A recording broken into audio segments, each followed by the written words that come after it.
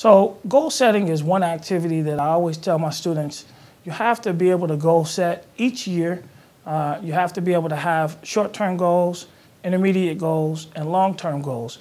One of the things that I teach is you have to write those down and then you have to have someone hold you accountable for them. So it's one thing to say, you know what, I want to get my degree. Well, when do you want to get your degree? In one year, in two years, in five years? And then for you to tell your parents or your significant other or your partner that that is your goal so they can say, okay, let me help this person work towards that goal.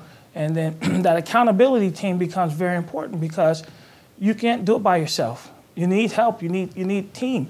Um, the organizational side of it becomes a management thing. How well do you manage yourself? How well do you do the things and get things done? So management and those tasks are things that we talk about.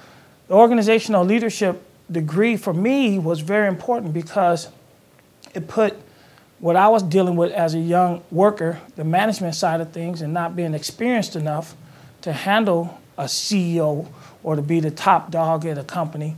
It put all of those things that I didn't know into focus for me. And now I know those things and I can lead and run anyone's company and my own.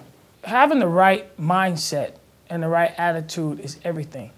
Attitude reflects leadership. I believe I got that from a movie, uh, Crimson Tide, with Den I mean uh, Denzel Washington, but maybe it wasn't Crimson Tide, but it was a movie.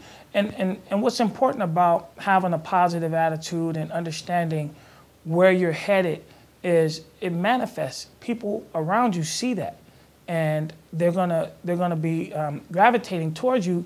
And then if you can give it back, if you can teach someone how to um, be positive and to, to look at everything on the bright side.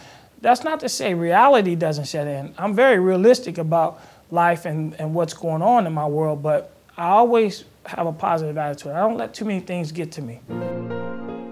Thank you for watching A Wise Way. Subscribe to stay updated, share to pass the knowledge, or view our other videos on the left.